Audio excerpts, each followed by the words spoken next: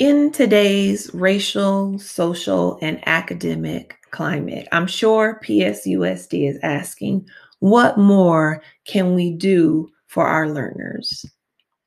Hello, I am Valcine Brown, and I am a teacher of English, language arts, and AVID at one of our comprehensive high schools, Desert Hot Springs High School, home of the Golden Eagles. Today, I come here with three specific purposes. One, I'd like to outline a problem that I've noticed on the front lines as a teacher of English language arts. I'd like to introduce you to specific pedagogy and the research behind it. And I'd like to discuss how we can partner to provide better learning outcomes for our students. First, the problem ELA curriculum. ELA curriculum. No, this isn't um, uh, bashing Study Sync. Uh, it's a good curriculum. However, it needs a boost. What I'm finding is that most of the material that we encounter marginalizes our non standard English speakers in a way that leaves them feeling unwelcomed and underrepresented. Mainstream pedagogy and literary content has not shifted to consider the multicultural and multiracial audience that they now are here to educate. This lack of literary growth, this stagnancy, has led to an inability for our students to see and hear themselves reflected in the text. Speaking specifically of a noticeable lack of Native American literature, Sherman Alexie said, I was certainly never taught that Indians wrote poetry, short stories, and novels. This was in his essay Superman and Me, published in 1998.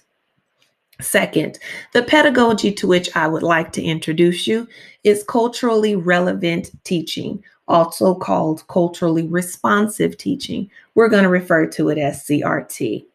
In short, CRT allows students to see themselves included and reflected in the text.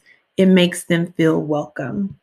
In defining CRT, Christy Byrd defines it as teaching that draws on cultural backgrounds and knowledge of students as assets in the classroom. In short, it values home language, whether that difference be dialect or in language.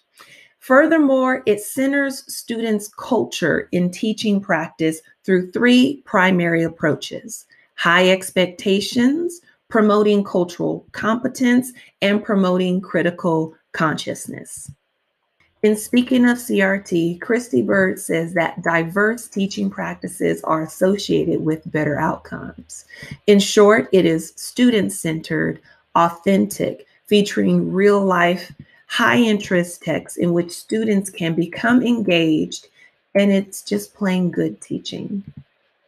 So, how can we partner together to produce better learning outcomes for our students?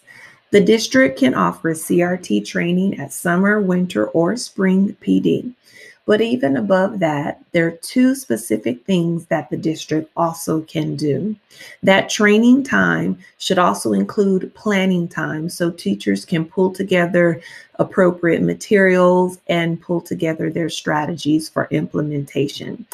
Additionally, it should be followed followed up with bi-monthly paid planning time, much as we did when we implemented our ELL curriculum within Study Sync.